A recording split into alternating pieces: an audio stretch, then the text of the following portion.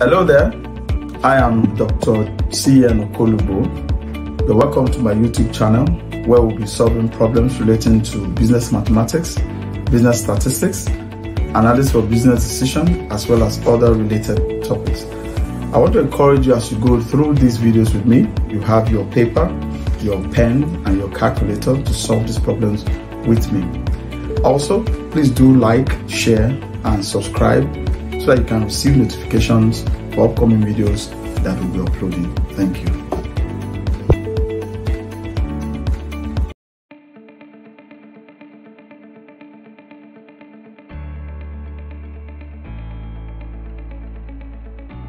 Hello, thank you for joining me. As you can see on the workboard just before I came in, uh, we have a question uh, given to us in this form and then it's required that we interpret the question but then the first thing we have to do is solving the problem using northwest corner method or any of the methods solving um, transportation um, problem is to place this question in a table. Let's quickly do that with me. Please follow me. We have a situation where we have the factory. We have two factories here. And the factories here from Agbara and Lokoja rep representing supply. Then we have four locations for the warehouse, north, south, east, and west. That will be representing the demand. From here, we see that we're going to have a 2 by 4 matrix. The supply will be in the row section, and then we have the demand will be in the column section. Here, we're looking at the transport costs from Agbara, the supply from Agbara to these locations. We have the cost, the unit cost, and then also we have from Lokoja to all the uh, locations for the um, for the demand for the warehouse. So let's solve. Let's uh, represent these values in a table. In doing that, uh, I've told you before that we're going to have the the supply, which is in this case our factory, will be on the row, and then the warehouse will be on the column. So I'll write here representing warehouse up here and then we're going to have north uh, south east and west. Like this. Okay and then we're going to have um, the two factories Agbara and Lokoja here. Going to be on this. Right the total for the warehouse be here. Then the requirements 900 1000 500 and 200 so you can see I've placed these values as the requirement for the warehouse 900 1500 and 200 now for the capacity of the of the factory. For Agbara, it is 1,200. For Lokoja, it is 1,400. So 1,200, 1,400 have been placed in their. Oh, sorry, this is the wrong place to place them. Okay, it should it should be in the total. We have total of factory total of factory that will be 1200 and 1400 right this is how it should be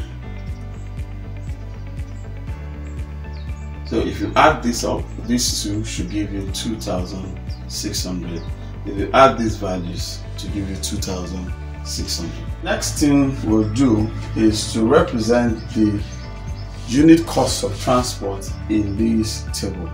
And we're going to do that simply. Let's um, put our small boxes here. Put the small box here put the small box here put the small box here put the small box here so that from Agbara to the north Agbara to north Agbara to south Agbara to east Agbara to west are these values here. You can see them? So that we'll put 40, 20, 15, and 10. Alright, from Lokoja to north, Lokoja to south, Lokoja to east, Lokoja to west are these values. So that we have 30, 10, 15, and then we have 20. Alright, so we have a familiar table for us to work with in solving the problem of northwest corner. Solving the torsion problem using the northwest corner method. Let's quickly solve this problem by starting off with um, looking at the top left corner here. We'll start from here. From here, we see that there's a demand from the north of 900. And then we'll, what we'll now do to fill this, we'll put in the 900 here. And this will cross out this here. We still have um, a balance of 300 um, goods in the Agbara factory. What we'll now do to place the next thing is to come to this cell here to exhaust this. Remember, we go from one row to the other. So what we'll now do is to take this remaining 300 in Agbara and place it in south.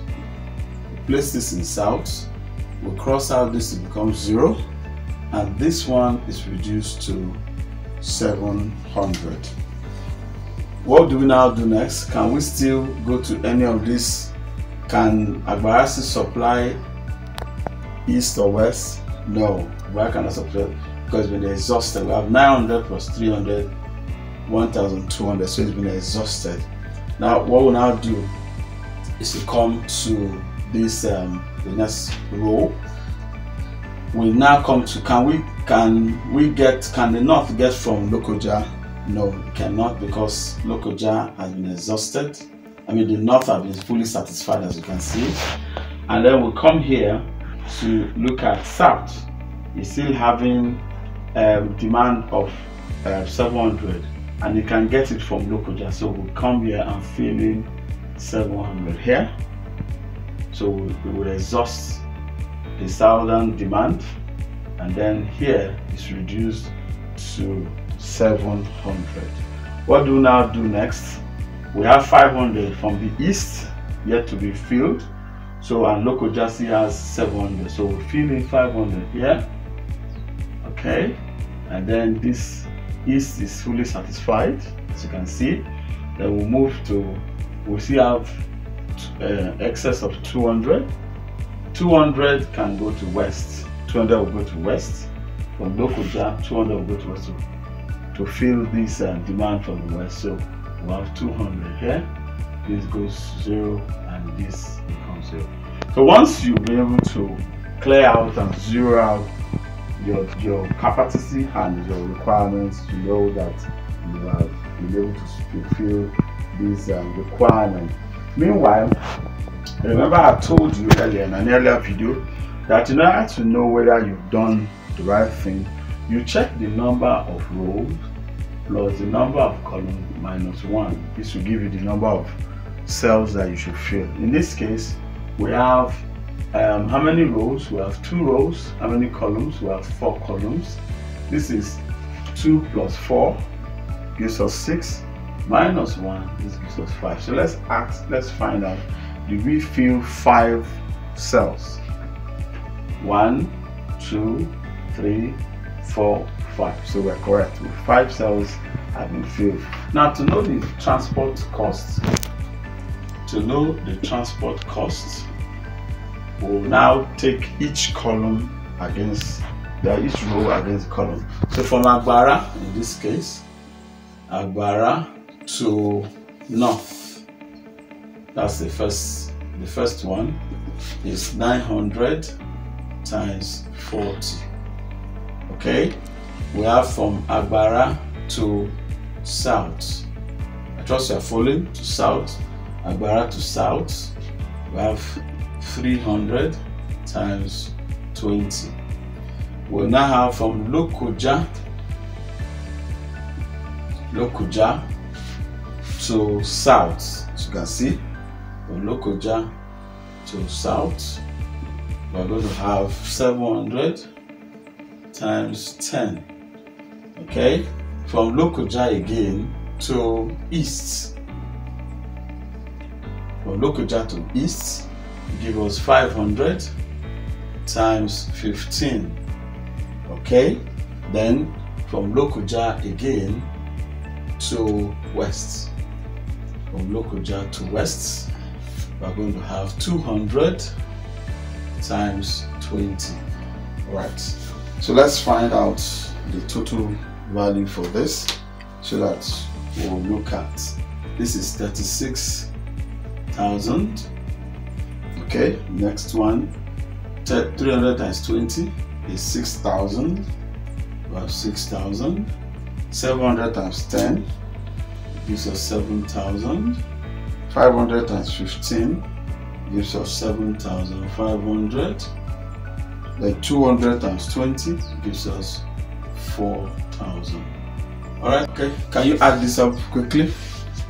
All right so we have 36 plus 6 plus 7,000 so what you should have should be 60,500 so this is the cost of transportation using the northwest corner method I want to appreciate you very much for joining me so far in this uh, series that we have been going through.